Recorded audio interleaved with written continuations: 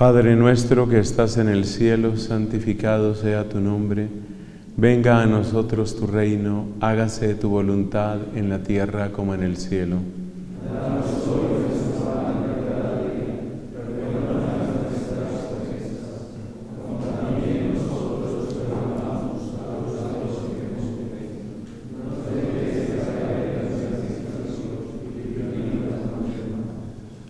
En el nombre del Padre y del Hijo y del Espíritu Santo. Amén. Amigos, en alguna de nuestras charlas decíamos sobre, o hablábamos sobre cuáles han, cuáles han sido los motores para hacer teología en la iglesia. Y decíamos que han sido principalmente tres. Tres, tres motores. El primer motor es cuando surgen herejías, cuando hay enseñanzas que parecen extrañas y de hecho son incompatibles con lo que recibimos de los apóstoles. Entonces hay que buscar clarificaciones, esto cómo se entiende, cómo se resuelve esto, cómo hay que responder aquí.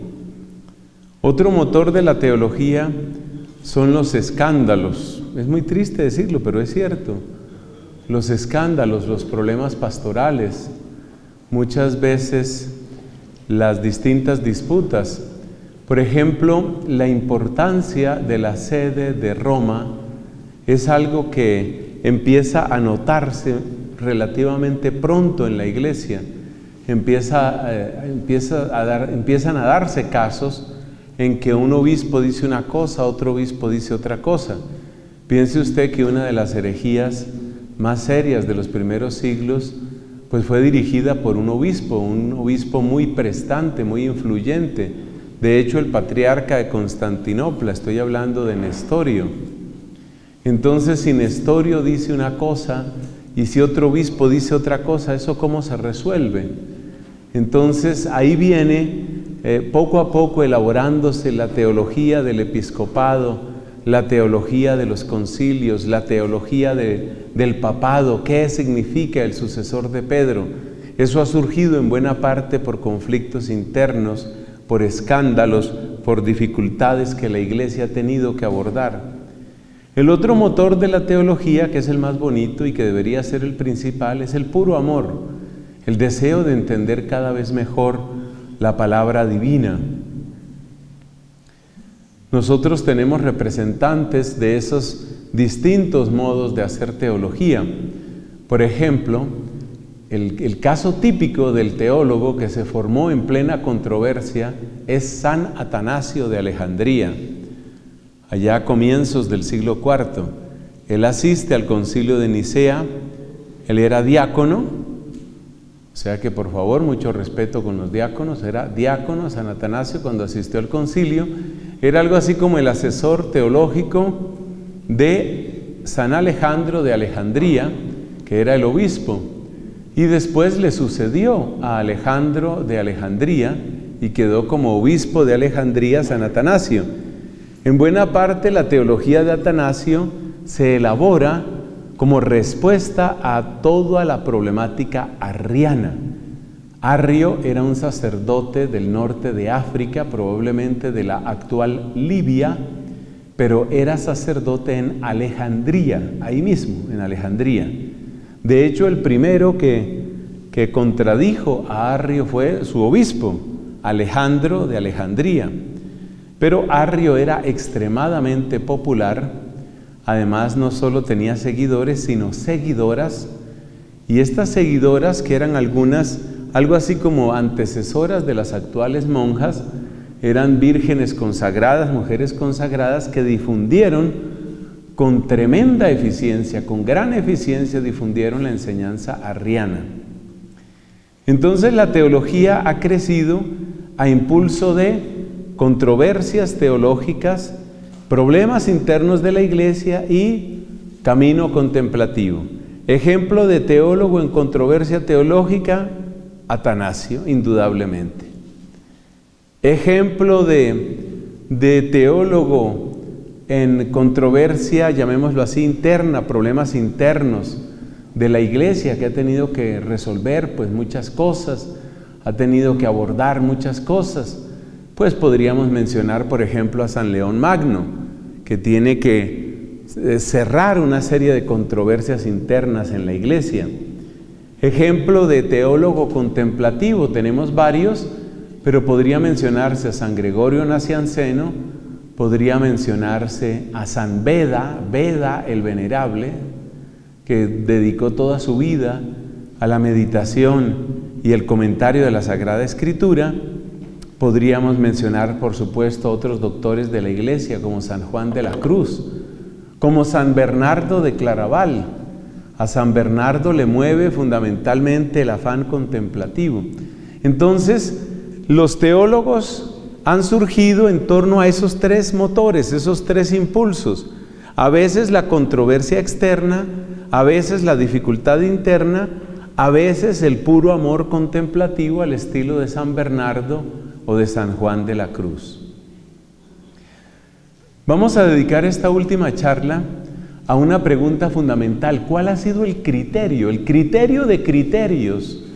¿Cuál ha sido por decirlo así, el timón fundamental, la brújula fundamental de todos estos teólogos? Tal vez la respuesta que viene inmediatamente es Cristo, la persona misma de Cristo. Está muy bien dicho. Cristo es el motor fundamental.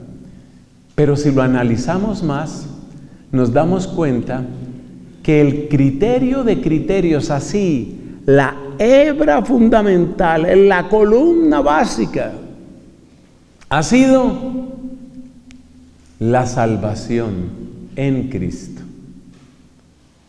Entonces lo que vamos a hacer ahora, en esta breve charla, es comentar cómo, por ejemplo, en la controversia arriana o en la controversia gnóstica, y en otras parecidas, lo que ha servido de brújula, lo que ha servido de criterio orientador en medio de distintas opiniones, a veces muy autorizadas, ha sido la verdad de la redención en Cristo, la verdad de nuestra salvación en Cristo. Ese ha sido el criterio fundamental. Y en ese sentido, podemos decir que toda la teología, toda la teología en la Iglesia Católica se ha ido desarrollando, creciendo orgánicamente, a veces también un poco desordenadamente, ha ido creciendo a partir de un núcleo y ese núcleo fundamental es la salvación en Cristo. Salvador se dice soter en griego. La salvación es la sotería. El estudio de la salvación es la soteriología. Podemos decir que toda la teología cristiana ha nacido, ha crecido, se ha desarrollado a partir de la soteriología la soteriología, la verdad de que somos salvados. Vamos a mirarlo con, ejemplos.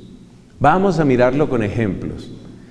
El primero y tal vez el más documentado es el del arrianismo.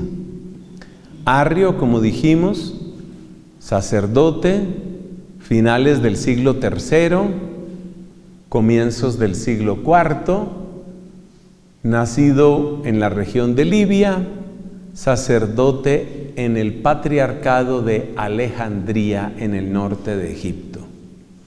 Ese era Arrio. Arrio se pone en la tarea de responder a esta pregunta. ¿Quién es Cristo? Esa es una pregunta cristológica. La soteriología se refiere a lo que Cristo ha hecho por nosotros. La cristología se refiere al ser de Cristo. ¿Quién es Él? Arrio hace su pregunta cristológica. ¿quién es Cristo? Esa es la pregunta. Y la preocupación de Arrio está en que todo el Antiguo Testamento enfatiza que Dios es uno. Si nosotros afirmamos que Dios es Padre y que Dios es Hijo, o que el Hijo es Dios y que el Padre es Dios, pues esos serían dos dioses. Ese es el razonamiento. Entonces Arrio toma algunos pasajes de la Escritura que apoyan la subordinación del Hijo frente al Padre. La manera como Arrio plantea el problema no es en términos metafísicos. Después esto se va a volver metafísica. Pero la manera como Arrio plantea el problema no es metafísica. Arrio lo plantea en un ámbito que podemos llamar casi cultual, litúrgico. Arrio viene a afirmar que no puede darse la misma honra, la misma doxa, la misma gloria, no se le puede dar al Padre y al Hijo. El Hijo es menor que el Padre. Y Arrio conoce bien el Nuevo Testamento y cita algunos textos que apoyan su doctrina. Por ejemplo, en algún pasaje del Evangelio dice Cristo, sobre aquel día y aquella hora, refiriéndose a qué, pues diríamos al fin del mundo, al juicio final, nadie sabe nada, ni el Hijo, sino solo el Padre. Arrio señalaba ese texto y decía, ahí lo tienes, el Hijo es inferior al Padre. El Hijo es inferior al Padre. En el Evangelio de Juan aparece esta frase, el Padre es mayor que todos. No dice el Padre y yo somos iguales, sino que el Padre es mayor que todos. Entonces Arrio empieza a construir una cristología según la cual hay que darle menos honra al Hijo que al Padre. Todavía hay otro texto, esta vez de la carta a los colosenses, que tiene una gran implicación para la enseñanza arriana. Leemos en la carta a los colosenses, Él es el primogénito de toda criatura. Arrio dice, ahí lo tienes, primogénito de toda criatura. Entonces Cristo es la primera de las criaturas. Cristo es criatura. Cristo no es eterno como el Padre. Y en una de sus obras, las obras de Arrio se han perdido todas, solo quedan las anotaciones, los comentarios que hicieron los adversarios de Arrio. En una de sus obras dice Arrio, esta es la frase más famosa de Arrio, la más famosa de todas. Hubo un tiempo en que Dios era Dios, pero no era Padre. Y después, en un determinado momento, el Padre engendra al Hijo. Y entonces ya que engendra no dice él, me equivoqué, ¿ve? Soy demasiado católico. Entonces, ¿qué es lo que dice Arrio? Hubo un momento en el que el Padre, ¿qué será el verbo? Creó al Hijo. Y ya estaban el Padre y el Hijo. Y luego, a través del Hijo, a través de ese logos creó todo lo demás. ¿Cuáles eran las ventajas de esta enseñanza de Arrio y por qué se volvió tan popular? Las ventajas eran varias. Las ventajas de la enseñanza arriana eran las siguientes. Primero, La enseñanza de Arrio era mucho más fácil de ser compatible con la enseñanza judía tradicional. Shema Israel, escucha Israel, el Señor nuestro Dios es solamente uno.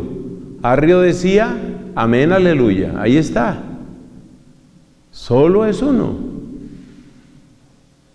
Entonces el arrianismo parecía más compatible con las escrituras del Antiguo Testamento y en general con la enseñanza judía.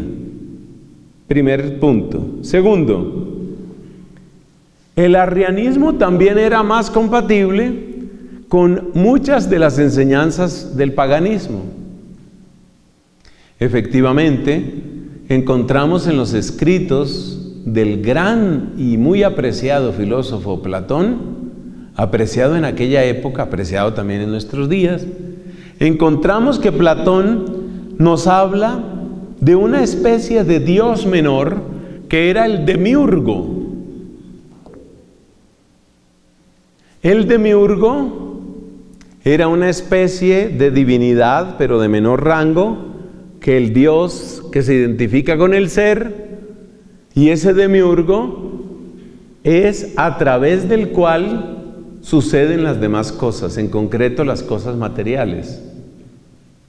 La idea de Arrio de que Dios Padre en cierto momento había creado al Hijo y luego a través del Hijo había hecho todas las cosas, sonaba bastante familiar a los oídos del paganismo. O sea que el arrianismo resultaba muy fácil de admitir por parte de los judíos y muy fácil de admitir por parte de los paganos, por lo menos de aquellos que tenían una formación platónica. Arrio no era ningún tonto, ningún tonto. Arrio lo tenía perfectamente claro. Alejandro de Alejandría, ya lo dije, obispo de esa ciudad de Alejandría, ¿por qué se llama Alejandría? Pues porque fue fundada por Alejandro Magno. Alejandro de Alejandría dice, no, eso no, no es así. Pero Alejandro de Alejandría no logra poner en palabras qué es lo que ve que está mal ahí. Es ahí donde entra la gran ayuda de Atanasio. Atanasio enfrenta la posición arriana fijándose en otros pasajes bíblicos. Porque para Arrio era muy importante el pasaje de nadie sabe eso sino solo el Padre. Otro pasaje, el Padre es mayor que todos. Y otro pasaje, Cristo es el primogénito de toda criatura. Pero entonces Atanasio tiene también sus propios pasajes, sus propios pasajes bíblicos. Por ejemplo, en el principio existía la palabra y la palabra estaba junto a Dios y la palabra era Dios. Y la palabra era Dios. En Arge, en Hologos. En el principio existía la palabra. Caijo logos en prostonceón y la palabra estaba vuelta hacia Dios. Caiceos en Hologos y la palabra era Dios. Ahí se dice que la palabra es Dios. Y luego se dice que esa misma palabra se encarnó. Caijo logos sarx egeneto. La palabra se hizo carne. Edesqueno, ¿cómo es? Cayesquenos en, en Gemín. Y habitó entre nosotros. Entonces, claramente Cristo es la palabra y de esa palabra se dice que era Dios. Usted entiende por qué es tan difícil rebatir el arrianismo. El arrianismo es muy difícil de rebatir porque resulta que hay textos bíblicos que parecen apoyar el arrianismo, pero hay textos bíblicos que van en contra del arrianismo. Y Arrio no era un sacerdote escandaloso, no. Era un hombre extraordinariamente, era un líder, era un hombre, hoy lo llamaríamos muy carismático, era un hombre que llevaba una vida muy decente y recta. Entonces, para algunas personas Arrio era como un santo. Y este santo, pues resulta que está diciendo eso. Y Atanasio dice otra cosa. ¿Cómo resolvemos ese problema? ¿Qué criterio utilizamos? Así nace la teología. Hay que llegar a una respuesta, hay que llegar a una claridad sobre esto. ¿Cómo se responde a este problema? La guerra de los versículos no ayuda mucho. La guerra de los versículos es el modo típico de controversia, por ejemplo, en muchos contextos de apologética, sobre todo con protestantes. El protestante saca su versículo, el otro saca otro versículo, y la guerra de los versículos. Eso no va muy lejos. El tema central, en cambio, es la salvación.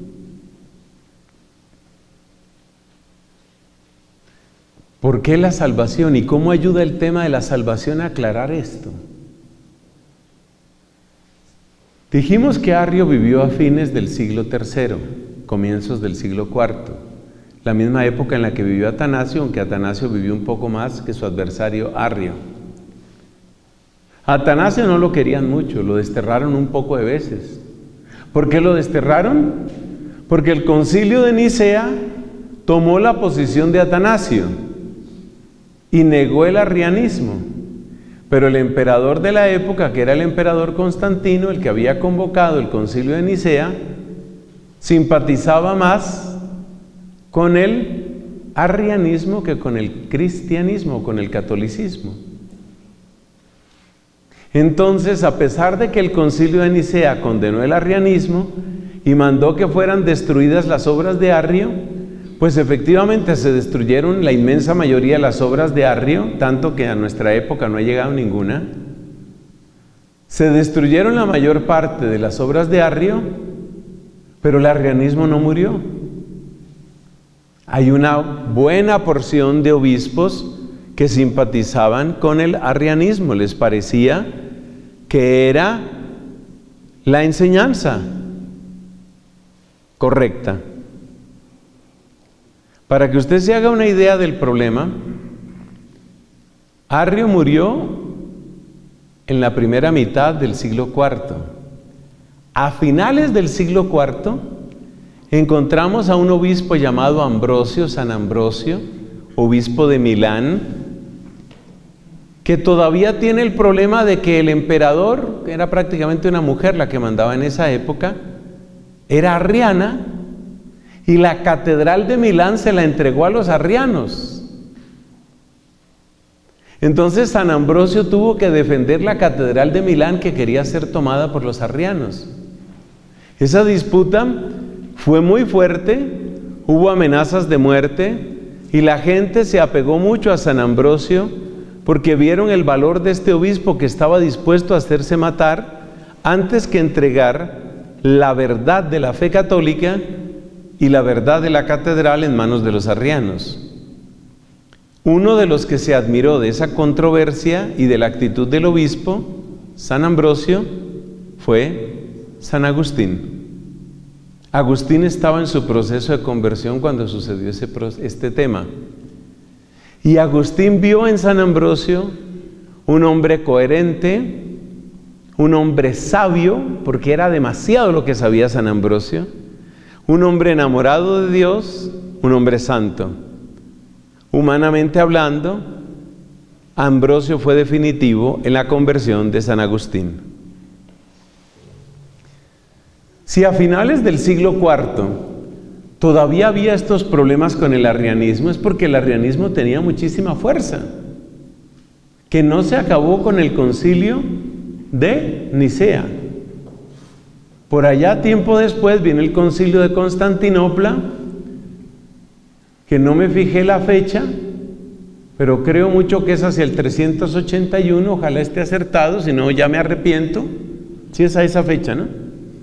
En el 381, y el concilio de Constantinopla reafirmó lo de Nicea, ofreciendo una versión del símbolo de la fe todavía más explícita que la de Nicea. Es el credo que decimos, el credo largo que decimos a veces en la misa. Es el que dice engendrado, no creado, de la misma naturaleza del Padre. Eso es del concilio de Constantinopla. Pero a pesar de Nicea y a pesar de Constantinopla, los arrianos seguían. De hecho, en nuestra época sigue habiendo cierto arrianismo. Las herejías no mueren tan fácilmente.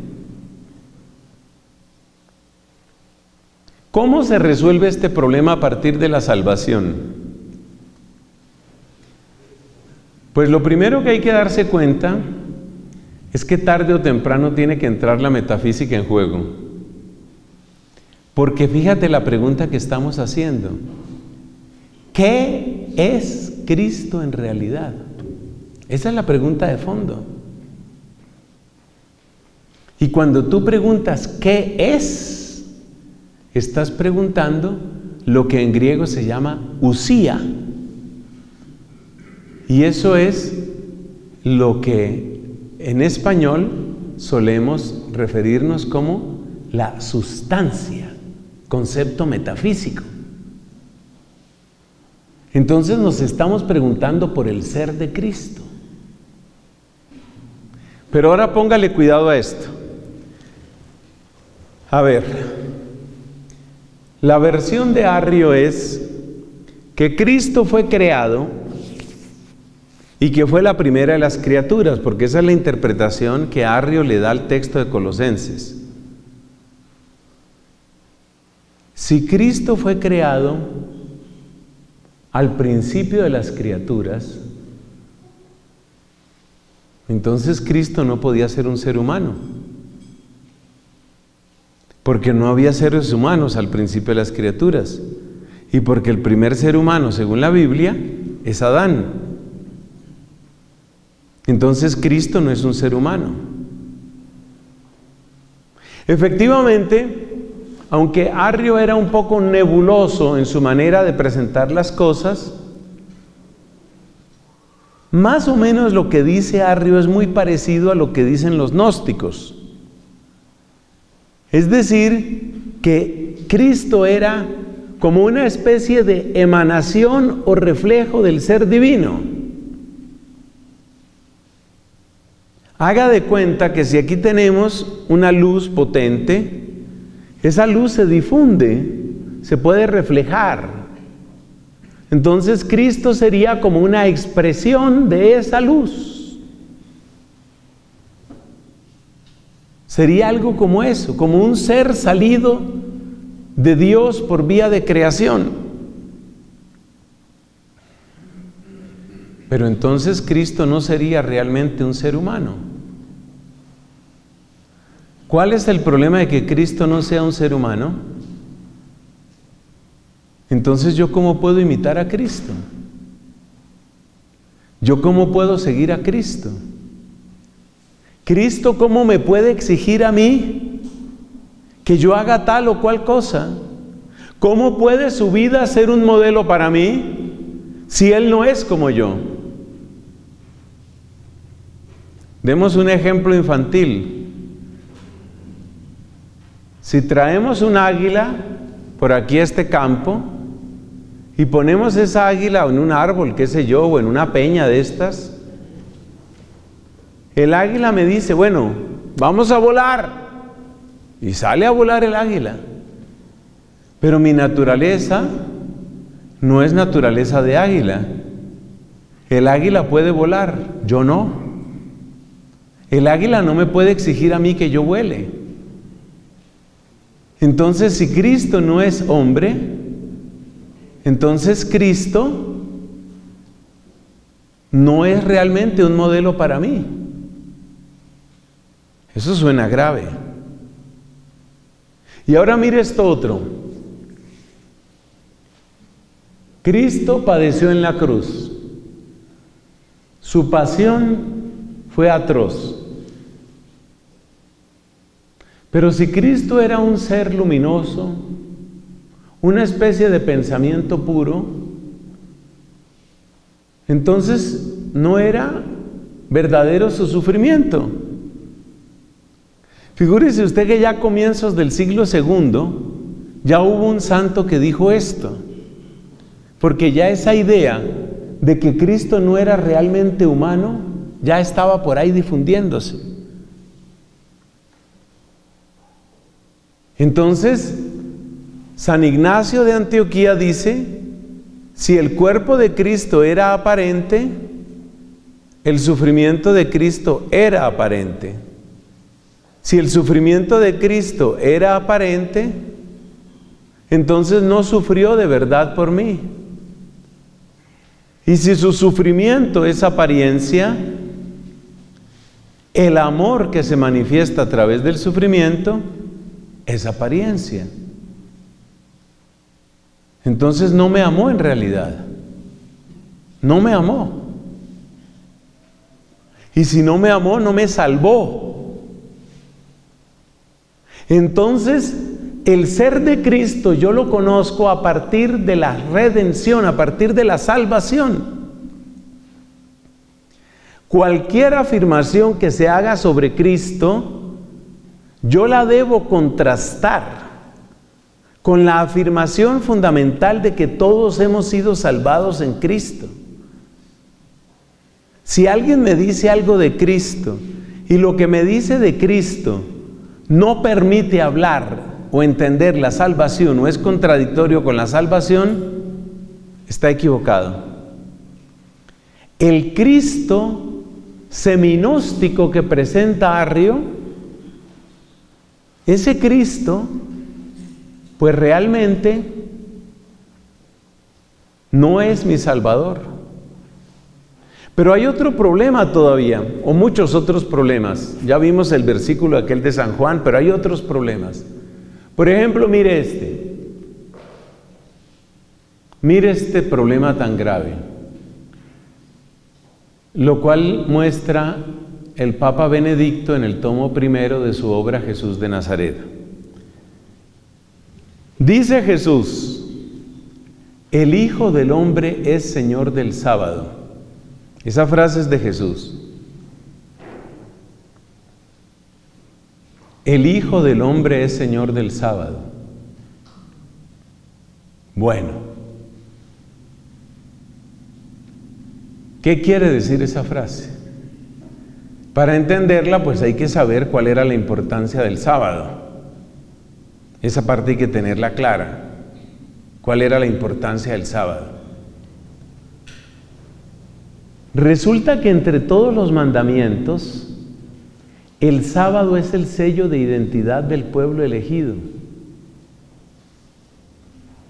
El sábado es el día de la comunión con el Dios eterno. El sábado es el día de entrar en comunión con Dios. Imagínese eso. Entonces, es tan importante el sábado que el profeta Isaías dice, a los eunucos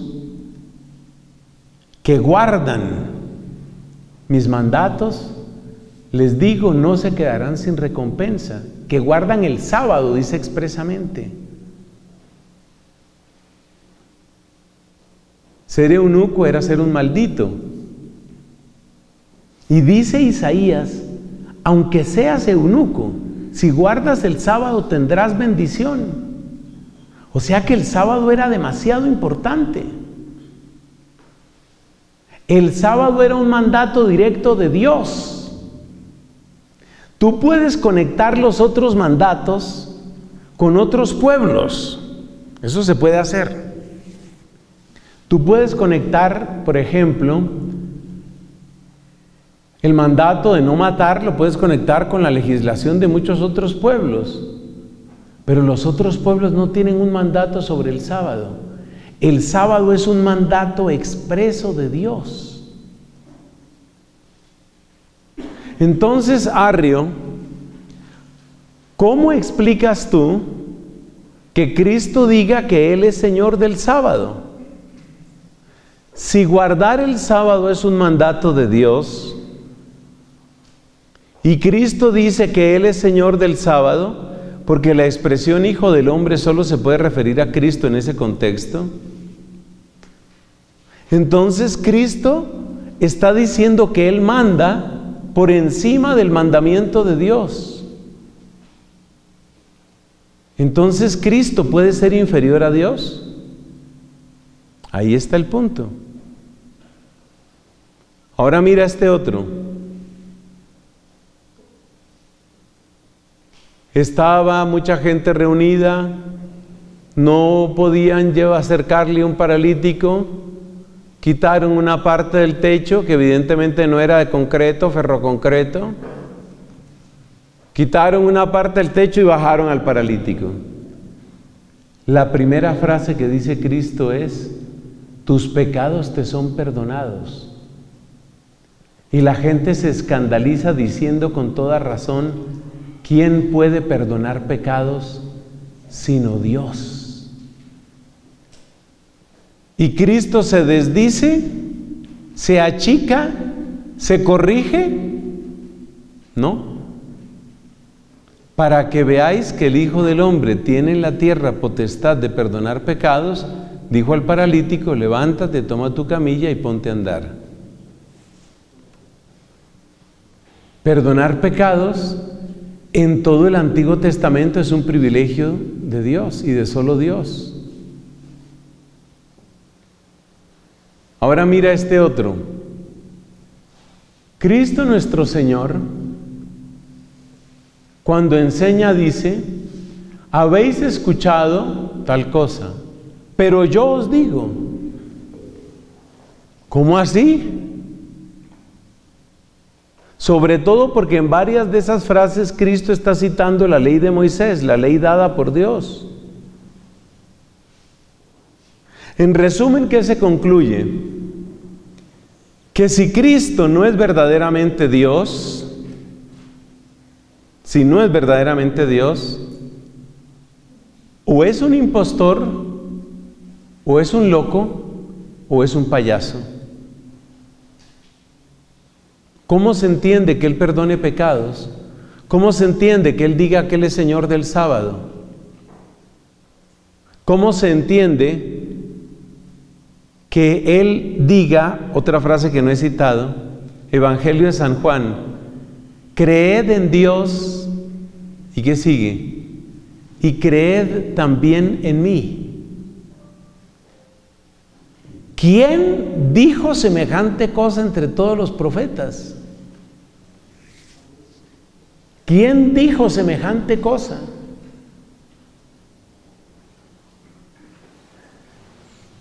Entonces, si Cristo es un impostor, o si Cristo es un loco, o si Cristo es un payaso, Cristo no es nuestro redentor. Entonces no hemos sido redimidos. Entonces no hay salvación.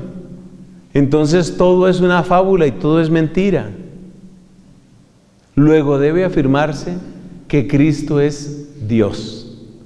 La divinidad de Cristo debe ser afirmada.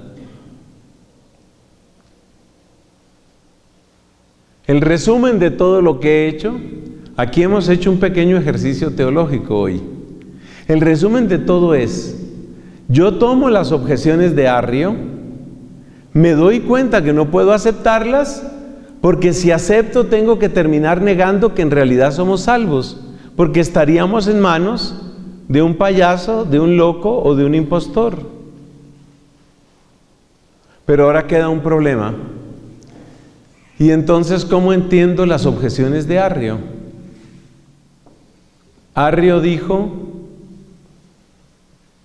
Arrio dijo, en aquellos pasajes, Cristo es el primogénito de toda criatura, el Padre es mayor que yo, la hora no la sabe nadie, ni el Hijo, sino solo el Padre. ¿Cómo se le responde a Arrio? Se le responde de la siguiente manera. A la luz de los estudios posteriores, nos damos cuenta que en Cristo es necesario afirmar que es verdadero Dios y que es verdadero hombre. Cristo, en cuanto hombre, es inferior al Padre. Cristo es Dios y Cristo es hombre. Cristo en cuanto hombre es inferior al Padre. ¿Eso es así? Eso es así. Voy a tomar un ejemplo del clero castrense. Ay Dios mío, que me salga bien. Ejemplo del clero castrense.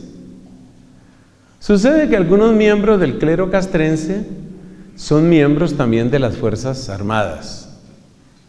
Eso lo sabemos. Y son miembros, llamémoslos así, de uniforme de las Fuerzas Armadas. Entonces ahora consideremos lo que sucede cuando un miembro del clero castrense, por ejemplo, es policía y también es sacerdote. Al mismo tiempo es policía y es sacerdote. Eso es así. Él está adscrito a las Fuerzas Armadas y al mismo tiempo pertenece a la jerarquía de la Iglesia Católica. Consideremos el caso de un general que no es sacerdote, general, general de la República. Usted se da cuenta que este general tiene un rango superior al policía. Ese policía es sacerdote, pero en cuanto general, el general está, tiene un rango superior al policía. Pero si ese general se confiesa con ese policía que es sacerdote, ese sacerdote que es policía le pone una penitencia al general. Eso sirve para hacer la distinción metafísica, es un modo infantil, ¿no? Pero sirve para hacer la distinción metafísica cuando una persona es dos cosas a la vez y es una misma persona. Aquí tenemos varios miembros del clero castrense y entiendo yo que algunos efectivamente son miembros de las fuerzas. Entonces, ¿qué pasa? Esa es la respuesta a las dos primeras objeciones de Arrio que hemos mencionado aquí. Cristo, en cuanto hombre, es inferior al Padre. Claro, el Padre no sufre, el Hijo sí sufre. La naturaleza humana de Cristo no es eterna, la naturaleza divina del Padre es eterna. Luego la naturaleza humana de Cristo es inferior a la naturaleza del Padre. Ahí se entiende. En ese sentido el Hijo es inferior al Padre. Y en ese sentido hay cosas que el Hijo no sabe y que el Padre sí sabe. Ahí está. Entonces, por medio de una distinción, que es una distinción metafísica, porque hablamos de naturaleza humana y naturaleza divina, entendemos esos pasajes bíblicos. ¿Y qué hacemos con el otro? Cristo es primogénito de toda criatura. Yo les voy a dar la respuesta que dio San Atanasio. San Atanasio, que era un genio, además de un héroe, porque sufrió muchísimo, pero muchísimo, San Atanasio dio la siguiente respuesta. Existe una sabiduría eterna. La sabiduría eterna es el mismo logos. Y el logos es eterno como el Padre, porque efectivamente la escritura dice y la palabra estaba con Dios y la palabra era Dios. Esa es la sabiduría eterna. Pero en el momento en el que Dios crea, empieza a existir una sabiduría que es la sabiduría creada. La sabiduría creada es reflejo de la sabiduría eterna. Mírelo de este modo. Piense usted, por ejemplo, en un arquitecto que tiene una idea de cómo se puede hacer el diseño de un edificio. Luego esa idea la pone en un plano y con ese plano los albañiles y los obreros hacen el edificio. La idea está primero en la mente del arquitecto. La idea está después en el plano la idea después se realiza en el edificio. La idea está en tres partes. Eso es lo que aplica San Atanasio. Entonces San Atanasio dice, la idea eterna de Dios es el logos, y ese es el Hijo, y ese es el eterno. El plan de Dios para la creación, a imagen del logos, esa es la criatura, ese es el primogénito entre todas las criaturas. Porque todo lo que Dios hizo lo hizo con sabiduría y San Atanasio va citando los textos de la Biblia que muestran eso. Todo lo que hiciste lo hiciste con sabiduría. Hay textos, de hecho, del libro de la sabiduría que dicen eso. Entonces, con la comparación del arquitecto, el plano y el edificio se entiende.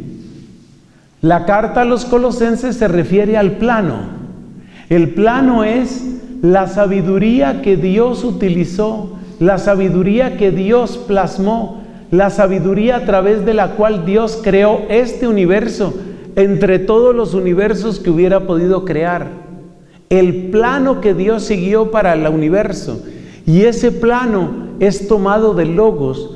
O sea que ese plano en cierto sentido es la misma sabiduría eterna, pero en la medida en que es la sabiduría para este universo creado, es una sabiduría que es al principio de todas las obras.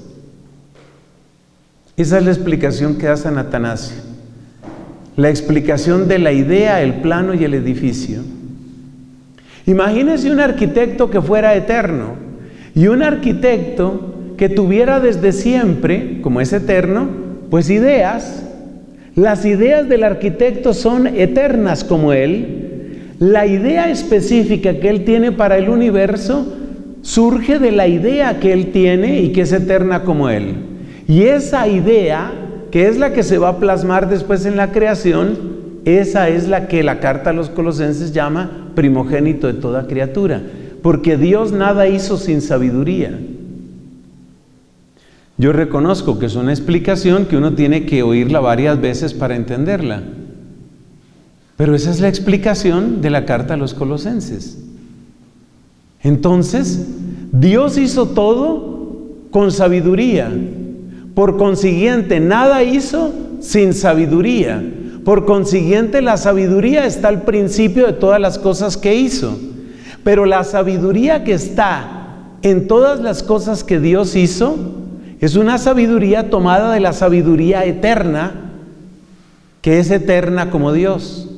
Ahí tienes el logos, la sabiduría primogénita de toda criatura y luego la creación. Esa es la explicación que da San Atanasio. Pero lo más importante de todo esto que es, lo más importante es darnos cuenta de dos cosas. Primero, cómo se hace teología. La teología se hace tratando de responder al conjunto del dato revelado. ¿Cuál fue el error que cometió Arrio? Que Arrio se quedó con unos pasajes, no tomó en cuenta todos. La teología se hace tomando el conjunto del dato revelado. ¿Por qué Atanasio le gana a Arrio? Siendo incluso más líder, más carismático, con más seguidores Arrio que Atanasio ¿Por qué Atanasio le gana a Arrio? Porque Arrio no tiene cómo responder a los pasajes que cita Atanasio. Y Atanasio sí puede explicar los pasajes que cita Arrio. Dicho de modo más simple, la teología se hace mirando al conjunto del dato revelado. La teología se hace preservando la verdad de la salvación Arrio no respeta la verdad de la salvación. Si le creemos a Arrio, entonces Cristo no es ni hombre ni Dios. Y si no es hombre, no es un modelo para mí. Y si no es Dios, yo no estoy perdonado. No hay salvación. Entonces, ¿cuál es el criterio? ¿Cómo se hace la teología? Con esos dos megacriterios. ¿Cuáles son los dos megacriterios de la teología? Primer megacriterio, debe responder al conjunto del dato revelado. Segundo megacriterio, debe respetar la verdad fundamental de nuestra salvación por gracia en Cristo. Y ahora viene el tercer megacriterio, que es posterior a Atanasio. El tercer megacriterio es, debe responder a la tradición de la iglesia. Nosotros no somos ruedas sueltas. Entonces, ¿cómo se hace la teología? Mirando al conjunto del dato revelado, mirando a la interpretación que le ha dado la iglesia a través de los siglos, eso incluye, por supuesto, la interpretación magisterial y mirando, ante todo, la salvación, la verdad de nuestra salvación en Cristo. Así se hace teología. Y en ese sentido, toda la teología es un desarrollo de la verdad fundamental de que somos salvados en Cristo. ¿Por qué estudiamos Cristología? La cristología brota de la soteriología. Ahora que sabemos y afirmamos que somos salvos en Cristo, nos preguntamos, ¿cómo somos salvos en Cristo? ¿Quién nos salvó? Esa es la cristología. ¿Cómo llegó Cristo a nosotros? Esa es la mariología. ¿Qué nació de la obra de Cristo? Esa es la eclesiología. ¿Cómo han vivido su fe los cristianos? Esa es la historia de la iglesia. ¿Cómo se actualiza la redención y la salvación y la santificación en nosotros? Esa es la neumatología. Todos los tratados brotan de una semilla y esa semilla es, hemos sido salvados en Cristo. Aquí lo hemos visto en un ejemplo sencillo, que es el de Arrio, un ejemplo sencillo, pero luego tiene usted otros ejemplos que hubiéramos podido estudiar, el nestorianismo o cualquier otra herejía. De hecho, pues el protestantismo es una herejía, se puede estudiar también. ¿Respeta el protestantismo la salvación en Cristo? Ah, son temas fascinantes, pero nuestro tiempo se ha agotado. Entonces, mis hermanos, repitamos por última vez, ¿cómo se hace teología? Respetando el conjunto del dato revelado. No puedo escoger las frases que a mí me convienen nada más. Segundo, ¿cómo se hace teología? Se hace teología respetando lo que la iglesia ha reflexionado y ha definido sobre ese tema. Eso es lo que llamamos usualmente tradición y magisterio. ¿Y cómo más se hace teología? Conservando siempre en la mirada la verdad central de nuestra salvación. Gloria al Padre, al Hijo y al Espíritu Santo